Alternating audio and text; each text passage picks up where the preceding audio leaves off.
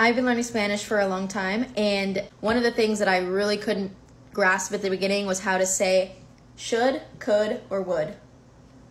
And they're pretty important words. If you know me, you know about this book. If you don't know me, let's talk about how amazing this book is. I wrote it in my notes. Give me a sec. For the purpose of this video, we're just going to talk about the yo form, and then we can expand on that in other videos. If you want to say, I would do something, let's take any verb. Comer, for example, to eat. The infinitive. I would eat. Take that word comer, add ia to the end. I with an accent, a. Comeria, I would eat. Done. I would eat. Comeria. If you want to say, I would dance. Bailar. Add an ia. Bailaria.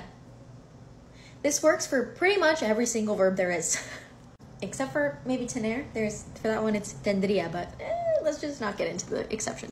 You want to say I should. I should eat. The only word you need to learn, debería. I should. Debe. Ia. I should eat. Debería comer. I should dance. Debería bailar. I should clean. Debería limpiar. Ya está. Ya está. That's it. Now we're going into the could. I could. Podría. I could eat. Podría comer. I could dance. Podría bailar. Podría. Could. Debería. Should. If you want to say would, add IA to the end.